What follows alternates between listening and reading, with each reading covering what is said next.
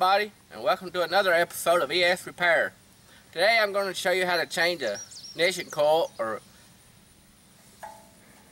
module here on the Briggs engine. Anyway, this one's bad but show you how to test it.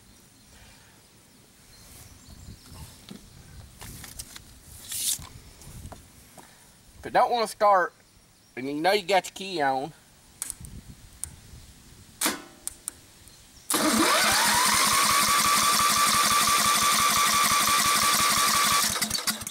Okay. Where my tester go? Right here. You want to see if it's firing.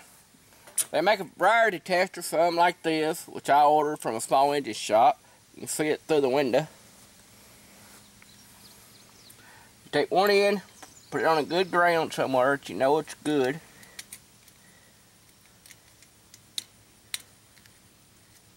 The other end goes on your spark plug wire. Then when you turn it over,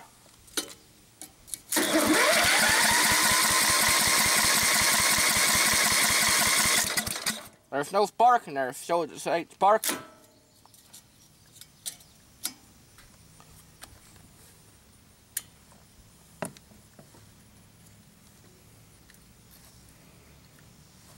They don't want to stay on very well.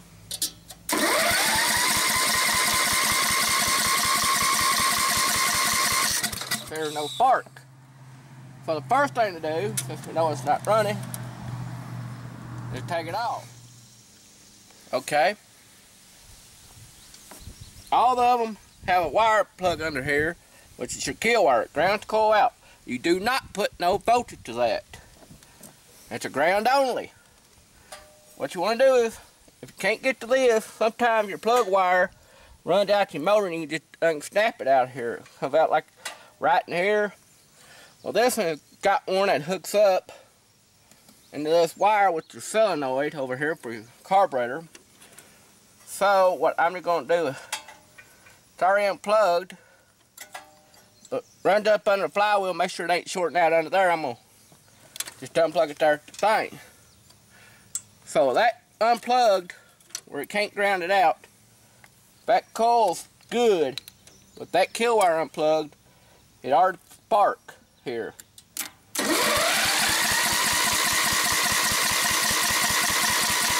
You undo the kill wire and it don't run spark, you know the coil's bad. On some lawnmowers, even twin cylinder like this one, it's got two sparks of cut off your magnetron. And I know it ain't a magnetron. I boo boo. It, it's Magneto. A, it's a Magneto. Anyway, you have to get to that. Magneto here. There's still a kill wire on it. This is for a single piston. This is for a dual cylinder or two pistons. Well, but on one like my red lawnmower up there, it's got two separate coils here it's a V-twin. It's got two separate coils for one for each cylinder. And they got a kill wire on them that grounds it out, but it's got a diode hooked in series with it. If that diode shorts out, it'll kill the motor. won't let it start until you replace that diode. Well, so now we have to change coils. But you know to get to this, you got to take all your top off.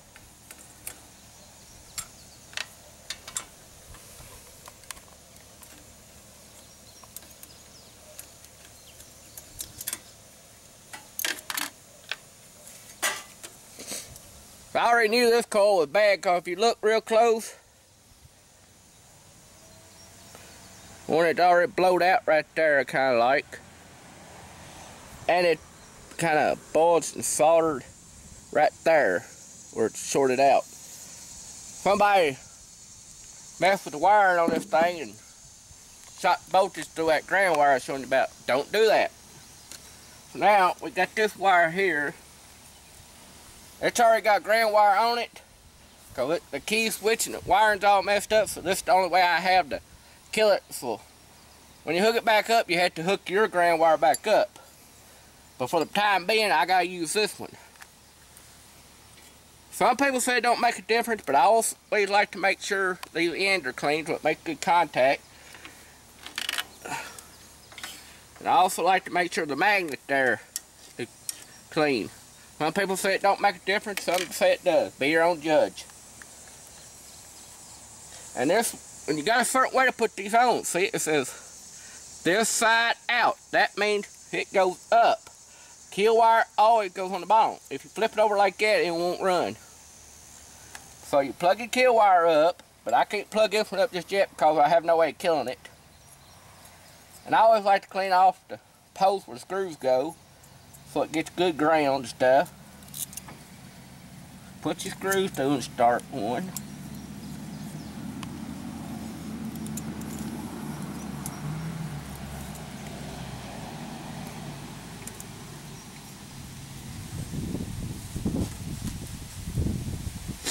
These take a 5 16 or 8 millimeter.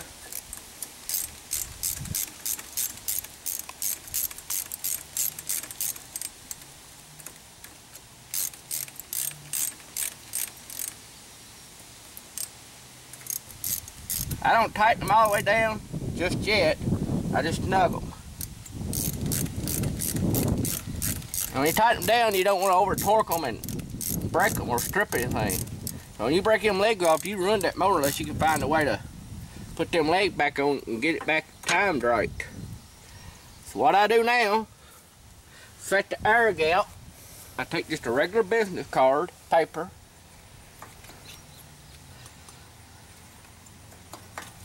You gotta have it loose enough.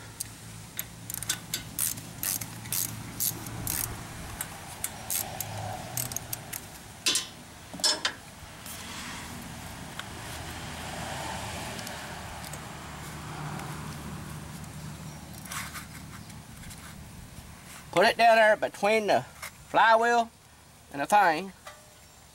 The magneto. Turn it around so that the magnet pulls it up to it. But don't force it. Just let the magnet there do the work. See? When it comes around, how it moves it.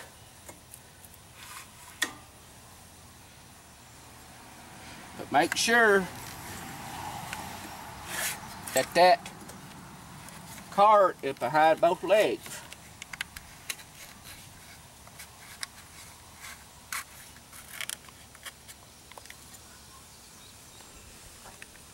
Hold your card in place if you have to with hand.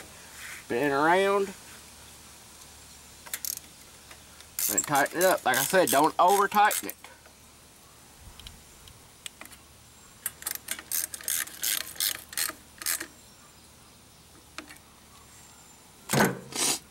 Then you move your spark plug or your card. Now supposed to put your spark plug back on, but I'm going to show you here. Spark plug wire that is. Take it. I know this coil's good because we didn't have it running, so the motor will probably start, but I got to have this wire to kill it like I said. Normally you would put your factory installed killed wire on it, hook it back up, or plug it up however it runs. Like I said, you do not put voltage to that wire. It's ground only. So this motor will probably start, but watch that window there. Watch sparks jump. Electrocute me. Look on the bright side. At least you know it works. Hmm.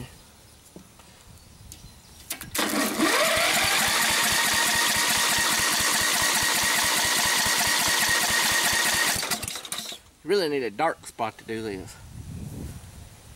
It's arcing. I know you can't see it, and I'm sorry. But... I just hooked up the spark plug.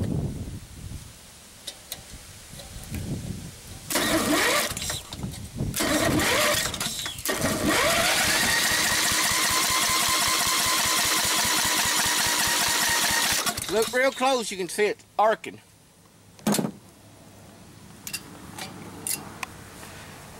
You really need a dark spot to do that in. I'll do it here in a minute. Demonstrate that on the thing here in a minute. Other lawnmower. But to prove this one runs,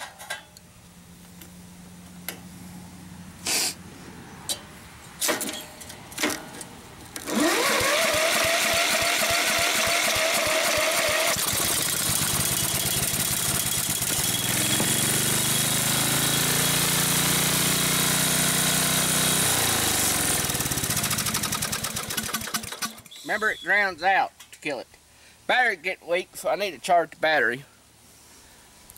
Well, we'll go up here this more, and I'll demonstrate under the shade if we can see it better how to this tester works. It'd just be like a little lightning flash streak. See it there?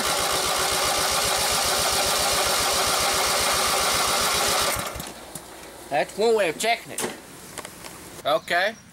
Here's another tester. It just uses a neon light, but takes high voltage to set it off. Same thing, so it's kind of like an inline. You put this over the end of your spark plug. Make sure the boot's over it. And put this in upside the coil. And that bulb will light up as it's turning over. See how it's lighting up?